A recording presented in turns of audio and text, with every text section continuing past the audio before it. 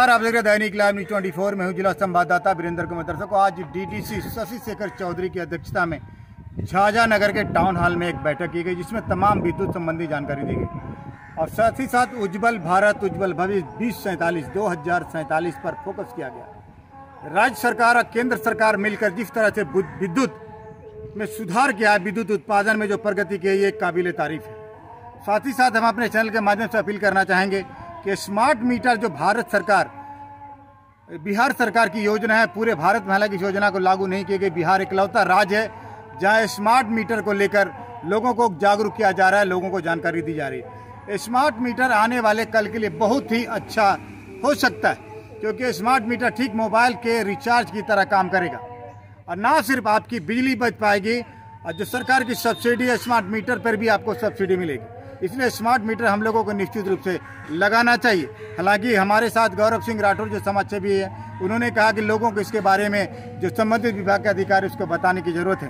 खुदरा व्यापार संघ के अध्यक्ष बबलू केसरी, उर्फ़ इंद्रदेव केसरी ने भी लोगों से अपील किया कि आप लोग निश्चित रूप से स्मार्ट मीटर लगाएँ। लेकिन हम अपने तरफ़ से आप लोगों से ये अपील करना चाहेंगे स्मार्ट मीटर तो लगा ही, खास करके बिजली भी बचाएँ। एक घर है जहाँ कोई नहीं फिर वहाँ बिजली का बल्ब जल रहा होता है। और बताओ, बिजली आज आपको इस रूप में मिल रही है कि पहले 200 वाट, ढाई सौ वाट सौ वाट का बल्ब लोग यूज़ करते थे, लेकिन आज लोग एलईडी पे आ गए उससे क्या हो रहा है कि मात्र कोई आठ अस्सी वाट का, कोई छः वाट का, जिस तरह से बिजली का बल्ब जला रहे हैं, एलईडी बल्ब जला रहे हैं तो चौरानवे वाट, नब्बे वाट निश्चित रूप से सरकार को बिजली बच रही है। और वही बिजली आपको वापिस होकर चौबीस घंटा तेईस घंटा बिजली मिल पा रही है। जो कोटेड हो गया पहले आप देखे होंगे दर्शकों कि नंगा तार हुआ करता था।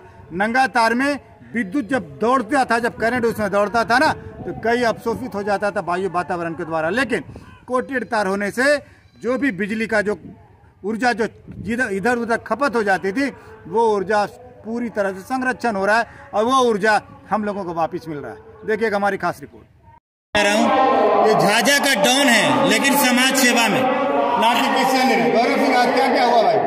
आज सशक्त बिजली का जो है उदाहरण पेश किया गया। और वाकई में जो विद्युत विभाग ने कार्य किया पिछले दस वर्षों पहले, जो दस वर्ष पहले बिजली व्यवस्था हमारे झाझा प्रखंड में थी और अभी का वर्तमान में जो स्थिति है वो काफ़ी सुधार है और कर्मचारी को काफ़ी अच्छा सुधार किए बाईस घंटा बिजली दे रहे हैं और किसानों को महत्वपूर्ण सुविधा दी है पटवन में।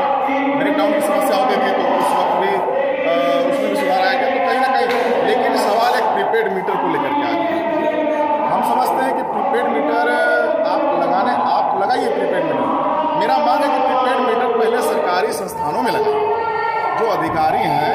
कर्मचारी हैं पहले उनके घर लगाइए ट्रायल कीजिए, कैसा अनुभव मिलता है, फिर हम उपभोक्ता लगाएँगे क्योंकि उपभोक्ता परेशान है कि प्रीपेड मीटर में तो पहले रिचार्ज कराना होगा।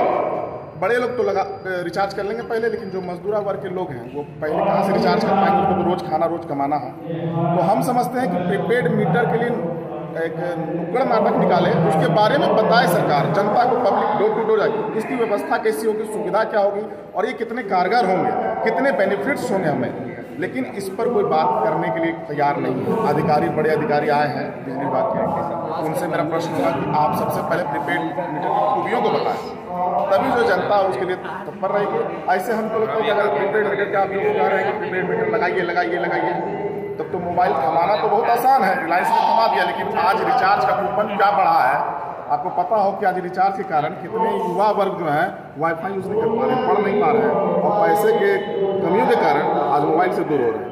आज साफ़ कहना है कि रिचार्ज अभी स्मार्ट मीटर को सोच समझ के लगाइए हाँ? बिल्कुल सोच समझ के लगाइए उपभोक्ता को एकदम सोच समझ के लगवाना चाहिए और जो बड़े बड़े अधिकारी हैं जो स्टाफ कर्मचारी हैं जैसे डॉक्टर हो प्रशासनिक हो प्रखंड कार्यालय उसमें पहले स्मार्ट मीटर लगाइए। तब जा करके उपभोक्ता संतुष्ट होंगे उसके बाद हम लोग भी तैयार के लिए कहीं दिक्कत नहीं। बबलू केसरी जुड़े हैं। आज सर जिस तरह आपने झाझा के व्यापारियों से झाझा की जनता से स्मार्ट मीटर लगाने की अपील की? और साथ ही साथ आपने तमाम लोगों को धन्यवाद भी दिया। क्या कहेंगे सर?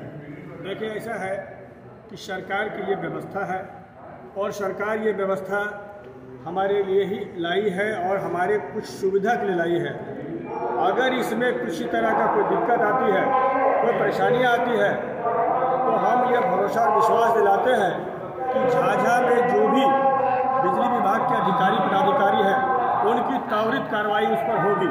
और यदि ये शिकायत नहीं दूर होती है तो जो भी कंज्यूमर आज बच जाएँगे, वो प्रीपेड मीटर लगाने से वंचित रह जाएँगे क्योंकि जिस चीज़ को लाने में, जैसे बिहार सरकार का एक जल नल योजना था, जो झाझा में बिल्कुल फेलियर रहा तो वैसे योजना जो हमको दिक्कत करेगी, हमारे जनता को दिक्कत करेगी, हमारे व्यापारियों को दिक्कत करेगी, हम वहाँ पर कहेंगे कि भाई उसमें जब तक सुधार नहीं होता है, तब तक आप उसको स्वीकार मत कीजिए। अगर हम प्रीपेड मीटर की बात करते हैं तो उससे रिगार्डिंग अगर कोई भी समस्या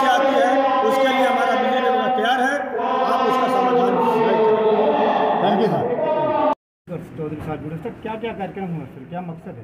देखिए, अमृत महोत्सव आप पूरे भारतवर्ष में अलग से कार्यक्रम आयोजन किया जा रहा है। उसी के तत्वाधान में विद्युत विभाग द्वारा भारत सरकार और बिहार सरकार के संयुक्त प्रयास से आज यहाँ पे कार्यक्रम का आयोजन किया गया है। तो देख रहे हैं कि विद्युत विभाग का जो उपलब्धि रहा है,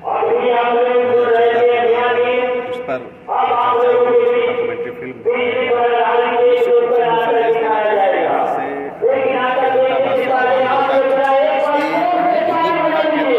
क्रांति लाई गई है और हर और भारत से पहुँचाई गई है। इसका लाभ सभी लोग अपने आर्थिक और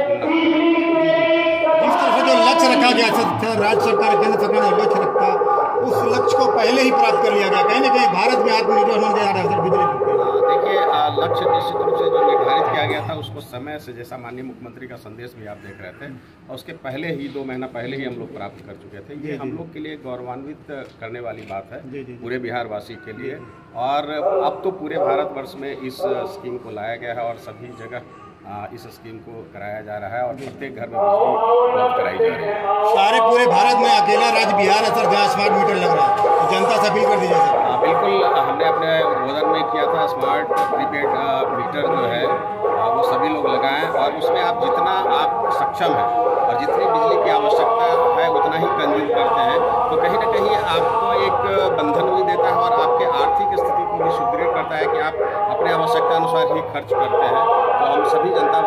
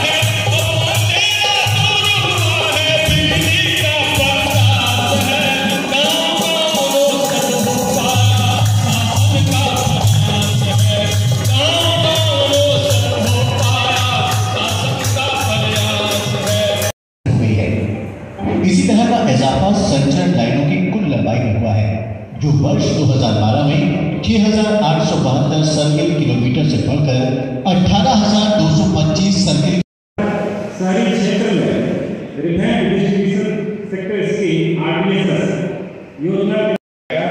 बिहार देश का पहला राज्य है जहाँ स्मार्ट प्रीपेड मीटर को प्रीपेड मोड में लगाया जा रहा है। अभी तक बिहार के शहरी क्षेत्र में नौ लाख पच्चीस हज़ार स्मार्ट मीटर लगाए जा चुके हैं। सिर्फ़ ग्रामीण क्षेत्र में भी अनुरोध है कि स्मार्ट प्रीपेड मीटर लगाने में सहयोग करें।